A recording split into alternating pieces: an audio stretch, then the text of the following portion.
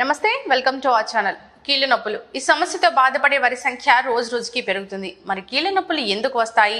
రాకుండా ఎటువంటి జాగ్రత్తలు తీసుకోవాలి? ఒకవేళ వచ్చాక నేచురోపతిలో ఎటువంటి ట్రీట్మెంట్స్ అందుబాటులో ఉన్నాయి? ఇక ఇలాంటి వివరాలని అందించడానికి ఈ రోజు మనతో పాటు ఉన్నారు red cross institute of yoga and nature cure నుంచి డాక్టర్ టి కృష్ణమూర్తి గారు. నమస్తే డాక్టర్. నమస్తే. Welcome to our channel. Thank you అండి. డాక్టర్ గారు చాలా మంది కీళ్ళ నొప్పులతో బాధపడుతూ ఉంటారు కదా. సో కీళ్ళ నొప్పులు అనేవి ఎందుకు వస్తాయి? ముఖ్యంగా ఈ సంధివాతము లేకంటే కీళ్ళ నొప్పులు అంటారండి. మనకు జాయింట్స్ ఉన్నాయి. బోన్ బోన్కు మధ్యలో మజిల్స్కు అటాచ్మెంట్కు జాయింట్స్ ఉంటాయి. ఈ కీళ్ళ ఎందు వాపు వస్తుంది. వాపు వల్ల కూడా మూమెంట్స్ రిస్ట్రిక్ట్ అయ్యి నొప్పులు వస్తుంటాయి. ఈ దీంట్లో మూడు రకాలు ఉన్నాయండి. ఫస్ట్ ఏమో రొమెటైడ్ ఆర్థరైటిస్ అంటారు. ఈ రొమెటైడ్ ఆర్థరైటిస్లో ముందు చిన్న జాయింట్స్ ఎఫెక్ట్ అవుతాయి. ఈ చేళ్ళ ఈ చేతులకు సంబంధించిన కీళ్ళల్లో పెలంజల్ జాయింట్స్ అంటారు. ఇక్కడ వాపు వస్తుంది నొప్పి వస్తుంది చల్లీళ్ళలో చేయి పెట్టలేరు. ఈ మూమెంట్ రెస్ట్రిక్ట్ అవుతుంది. దీన్ని రొమెటైడ్ ఆర్థరైటిస్ అంటారు. ఈ రొమెటైడ్ ఆర్థరైటిస్ క్రానిక్ అయినప్పుడు ఎల్బో జాయింట్స్ దెబ్బతింటాయి హిప్ జాయింట్ దెబ్బతింటుంది యాంకిల్ జాయింట్ కూడా దెబ్బతింటుందండి. ఇప్పుడు చాలామందికి స్థూలకాయంతో ఈ మోకాళ్ళ దగ్గర కూడా వాపులు వస్తుంటాయండి. దాన్ని ఆస్టియో ఆర్థరైటిస్ నీ జాయింట్స్ అంటారు. తర్వాత మూడో రకంలో గౌటి ఆర్థరైటిస్ అంటది.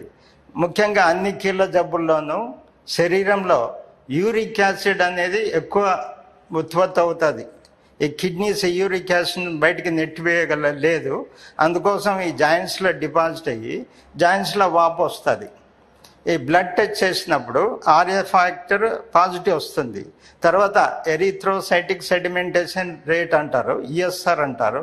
ఫస్ట్ అవర్ సెకండ్ అవర్లో కూడా ఇంక్రీజ్ నార్మల్ వాల్యూ కంటే ఎక్కువ అవుతుంది ఈఎస్ఆర్ ఇట్లా ఈ జాయింట్స్లో యూరిక్ యాసిడ్ లేకుంటే అసిడిటీ ఎక్కువై దాని మూలాన ఈ బాడీ న్యూట్రలైజ్ చేసుకోవాలి కాబట్టి బోన్స్లో నుంచి కూడా కాల్షియం లాగేసుకుంటుంది.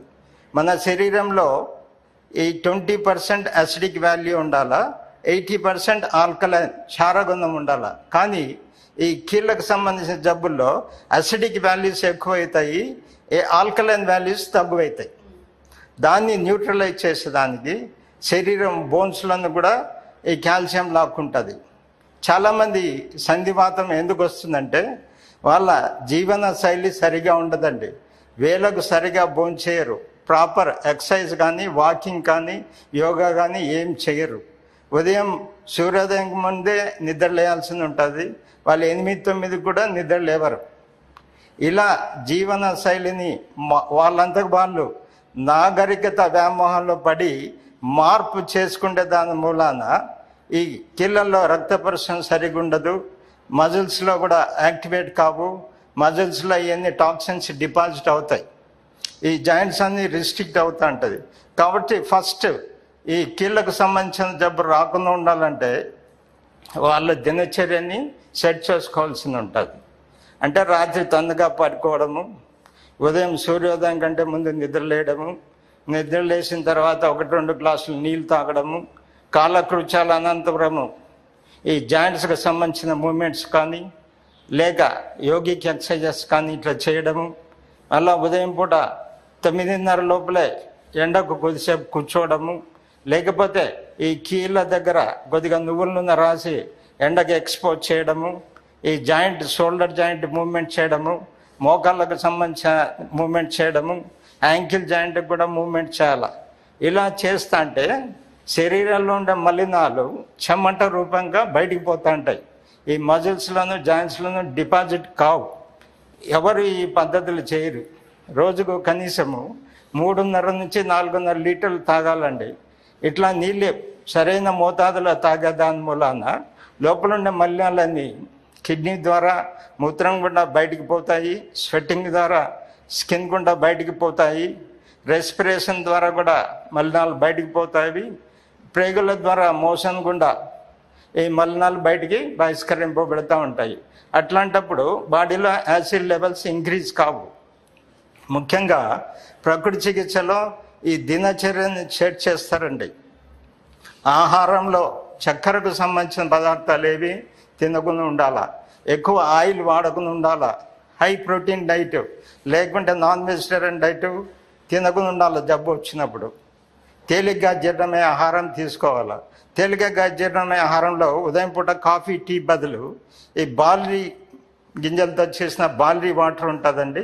అది డయూరిటిక్ బాడీలో ఉండే యూరిక్ యాసిడ్ లెవెల్స్ను బయటికి పంపించి ఎక్కువ మోతాదులో యూరిక్ యాసిడ్ లెవెల్ శరీరంలో చేరకుండా చూసేదానికి ఉపయోగపడతాయి.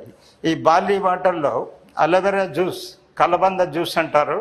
అది ఎక్కడైనా షాపుల్లో ప్రస్తుతం దొరుకుతుంది. ఈ barley water one fifty ML fifty ML aloe vera juice non diabetic అయితే మూడు చెంచాలు తేనె కానీ తాటి బెల్లం కానీ తాగాల్సింది ఉంటుంది రోజుకు రెండు సార్లు. ఇలా తాగేది ఉన్న మూలాన రక్తంలో ఉండే ఇన్ఫెక్షన్ తగ్గుతాయి వాపులు తగ్గుతాయి మూమెంట్స్ కూడా ఫ్రీ అవుతాయి. ఈ నేచర్ క్యూర్లో ఈ aloe vera juice barley water చాలా ఇంపార్టెంట్ అండి. తర్వాత ఈ జాయింట్ పెయిన్స్ ఉండే వాళ్ళందరికీ కాల్షియం డిఫిషియన్సీ ఉంటుంది. కాబట్టి ప్రతి ఒక్కరు ఉదయం వాళ్ళ శరీరాన్ని ఎండకి ఎక్స్పోజ్ చేయాలా? తర్వాత కాల్షియం ఎక్కువగా లభించే ఆర్గానిక్ ఫుడ్ మెటీరియల్ అనగా ఎండు ద్రాక్ష లేక మునక్క అంటారు బాదం పప్పు అక్రోటు రాగి మాల్టు లాంటి రాగి గంజి. ఇలాంటి ఐరన్ కాల్షియం శాతం ఎక్కువ ఉండే పదార్థాలు తీసుకోవాలా. అప్పుడు ఎముకలు వీక్ కాకుండా ఉంటాయి జాయింట్స్ కూడా స్ట్రెంగ్త్ ఉంటాయి. ఈ ప్రకృతి చికిత్సలో మర్దన చికిత్స అనేది ఉందండి ఈ మజిల్స్కు మసాజ్ చేసి ఫుల్ బాడీ మసాజ్ కావచ్చు ఆ కీళ్ళకు సంబ దగ్గర కానీ మసాజ్ చేయొచ్చు. ఇలా మసాజ్ చేస్తూ ఫిజియోథెరపీ మూమెంట్ చేస్తే అక్కడ వాపు లేకుండా ఉంటుంది. బాగా తొందరగా వాళ్ళకు మూమెంట్స్ ఫ్రీ అవుతాయి. మా దగ్గరకు వచ్చే వాళ్ళంతా ఈ కీళ్ళకు సంబంధించిన జబ్బుతో సఫర్ అయ్యే వాళ్ళంతా ముందు రకరకాల పెయిన్ కిల్లర్స్ వాడతారండి. ఈ పెయిన్ కిల్లర్స్ ఏం చేస్తాయంటే ఆ జాయింట్స్లో ఉండే నొప్పి తెలియకుండా చేస్తుంది. పెయిన్ది బ్రెయిన్ కనెక్షన్ ఉంటుంది. ఆ కనెక్షన్ డిస్కనెక్ట్ చేస్తాయి. తర్వాత స్వెల్లింగ్ తగ్గడానికి కొన్ని యాంటీబయాటిక్స్ వాడతారు. ఈ ఏమవుతాయంటే ఆ కిళ్ళలో ఉండే వాపుతో పాటు ఆ సైనోవెల్ ఫ్లూయిడ్ అని జాయింట్లో ఉంటుంది. ఆ ఫ్లూయిడ్ కూడా డ్రైవ్ చేస్తాయండి ఈ మందులు. కాబట్టి ఈ రెమటైడ్ ఆర్థరైటిస్ డిస్ట్రక్టివ్ స్టేజ్కి పోయి జాయింట్స్ లాక్ అవుతాయి. ఈ చెయ్యి ముందుకు రాదు. మోకాలు కూడా ముందుకు రాదు. ఈ యాంకిల్ జాయింట్ కీళ్ళు కూడా ముందుకు రాదు.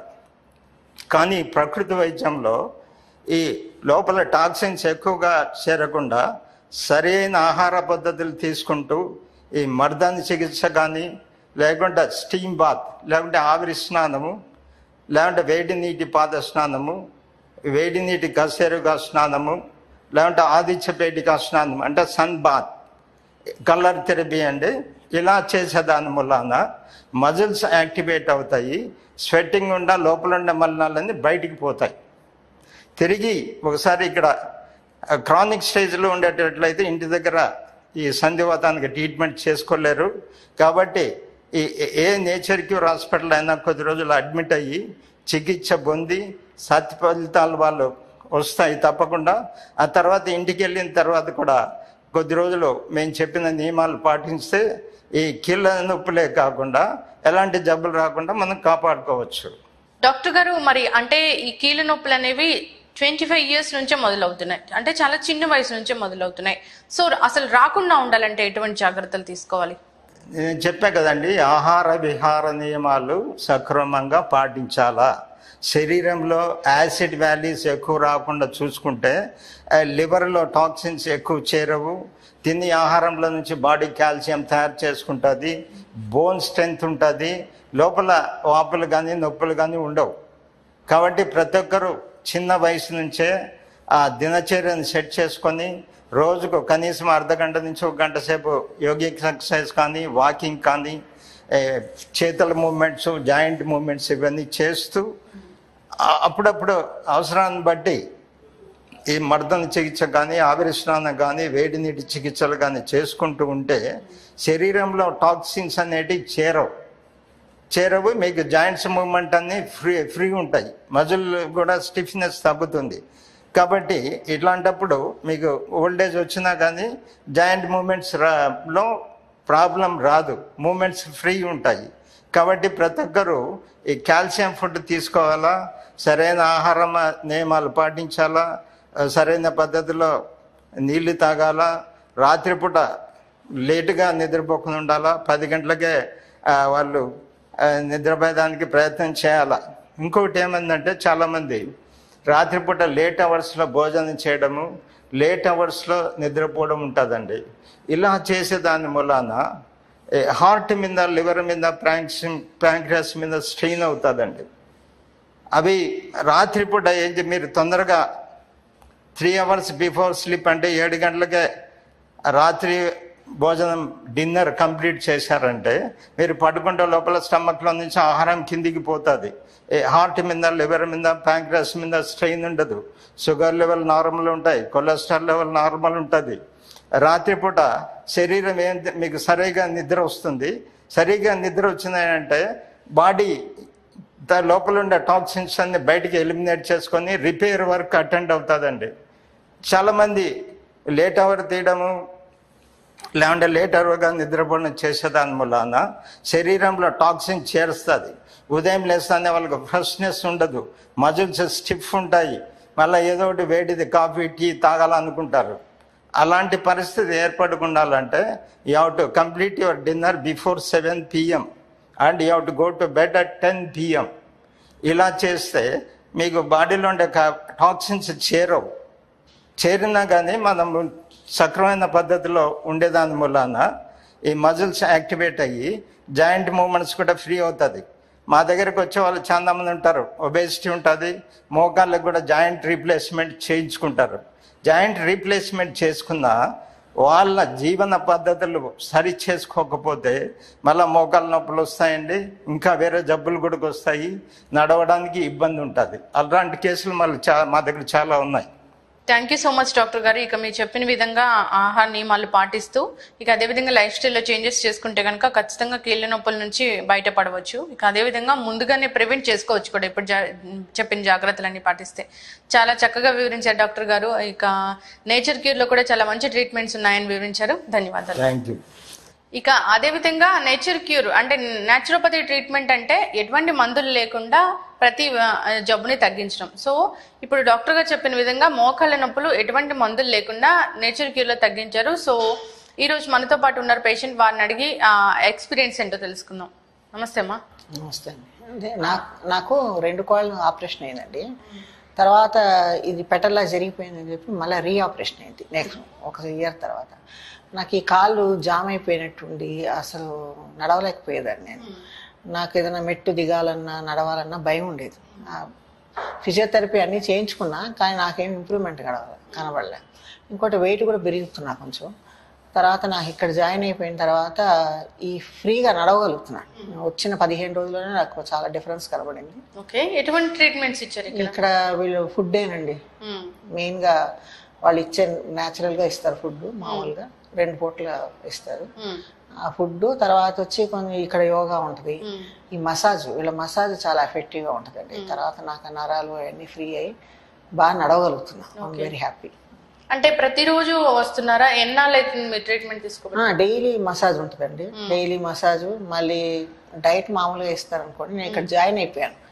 జాయిన్ అయిపోయి ఇన్పేషెంట్గా జాయిన్ అయ్యి వన్ మంత్ ఉందామని వచ్చాను. ట్వంటీ ఫైవ్ డేస్ అయింది. ఆల్మోస్ట్ చాలా మటుకు రికవర్ అయ్యాను వెయిట్ లాస్ కూడా అయ్యింది నాకు.